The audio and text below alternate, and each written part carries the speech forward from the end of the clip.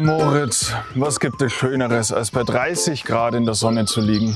Wenig, Johannes, wenig. Kannst du mir so eine Papaya reichen, bitte? Papaya ist aus. Magst du einen Apfel? Hm. Ja, tut's jetzt auch.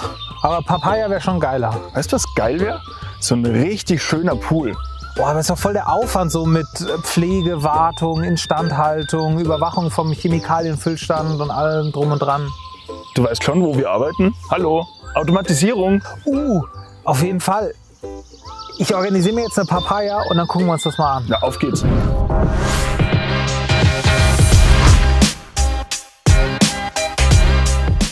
Hallo und herzlich willkommen. Hier ist Loxon Explained, das Format für alle Technikfans, Loxon-Partner und eben alle die, die es noch werden möchten. Nützliche Tipps rund um die Haus- und Gebäudeautomation von Loxon gibt's hier und wenn Sie kein Video mehr verpassen möchten, dann abonnieren Sie doch unseren YouTube-Kanal. Das Highlight im eigenen Garten und die Traumerfüllung vieler Menschen ist der eigene Pool. Den Pool bisher sauber zu halten, richtig zu pflegen, die verschiedenen Vorgänge mit mehreren Zeitschaltuhren kombiniert zur richtigen Zeit zu starten, war ein großer Aufwand und musste oftmals manuell per Hand erfolgen. Doch wir haben dafür eine einfache und umfassende Lösung. Der Funktionsbaustein Poolsteuerung arbeitet mit dem speziell entwickelten Aquastar Air von P-Aqua zusammen. Hierbei handelt es sich um ein Sechswege-Rückspülventil, das die einfache Überwachung und Steuerung eines Pools ermöglicht.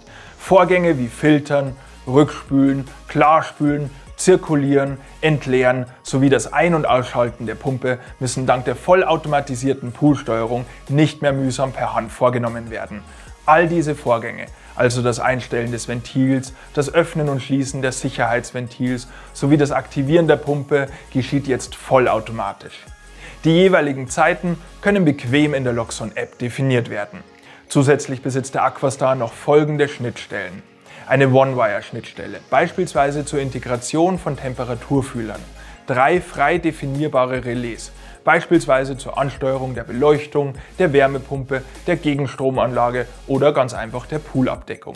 Des Weiteren besitzt der Aquastar zwei frei verwendbare analoge Eingänge, welche mit Hilfe eines Drucksensors zur Füllstandsmessung verwendet werden können. Und zu guter Letzt besitzt er zwei fest definierte Anschlüsse. Zum einen für die Filterpumpe und zum anderen für das Abflussventil. Im Baustein selbst sind zahlreiche Sicherheitsfunktionen integriert. Zum Beispiel, dass die Filterpumpe erst dann aktiviert wird, wenn das Ventil wirklich in der Zielposition angekommen ist. Gleiches gilt für das Abflussventil. Dieses wird nur geöffnet, wenn es wirklich erforderlich ist, um somit Wasser zu sparen. Und für ein Maximum an Flexibilität besitzt der Aquastar die Luxon Air Technologie.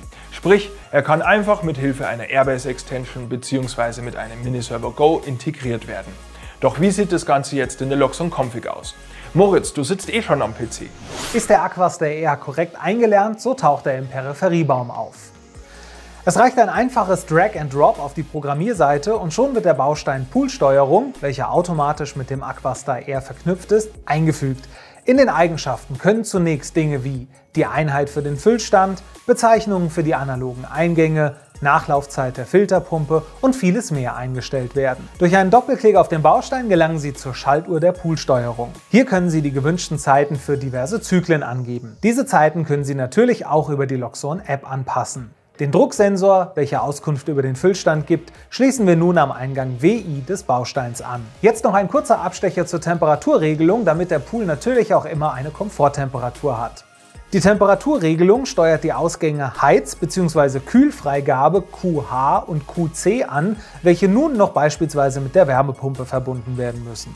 Zur Wassertemperaturmessung eignet sich die One-Wire-Schnittstelle bestens. Also lerne ich den One-Wire-Fühler ein und schließe ihn am Eingang AI an. Für diejenigen, die gerne im Detail wissen möchten, wie man einen One-Wire-Temperaturfühler einbindet, verlinke ich die Dokumentation hier im Video. Am Ausgang QH schließen wir unseren Merker an, der die Heizanlage des Pools freigibt, wenn Heizen notwendig ist. Besitzt der Pool eine elektrische Abdeckung, kann diese ebenfalls ganz einfach integriert werden. Hierzu nutzen wir zunächst den Funktionsbaustein Automatikjalousie und tragen die Fahrzeiten korrekt ein. Diesen Baustein können wir nun in der Visualisierung ausblenden, da die Visualisierung über den Baustein Poolsteuerung erfolgt. Dazu müssen nun die Ausgänge QCO und QCC mit den Eingängen CU und CD verbunden werden.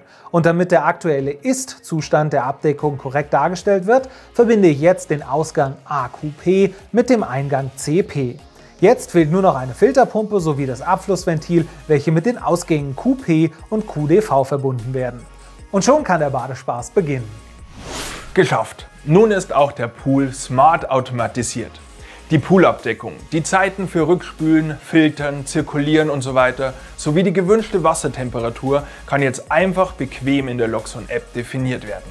Dank der frei konfigurierbaren Loxon Config und der umfangreichen Bibliothek an Funktionsbausteinen können Sie weitere Funktionen individuell abgestimmt auf die Bedürfnisse Ihrer Kunden einfach und schnell realisieren. Soll sich die Poolabdeckung beispielsweise automatisiert mit Sonnenuntergang schließen? Oder Sie wollen die Gegenstromanlage des Pools integrieren oder sogar mit dem Loxon Touch Surface bequem vom Beckenrand aus bedienen. Mit der Automatisierungslösung von Loxon ist all dies kein Problem.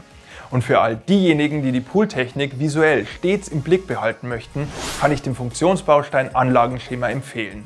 Alle Infos dazu verlinke ich im Video.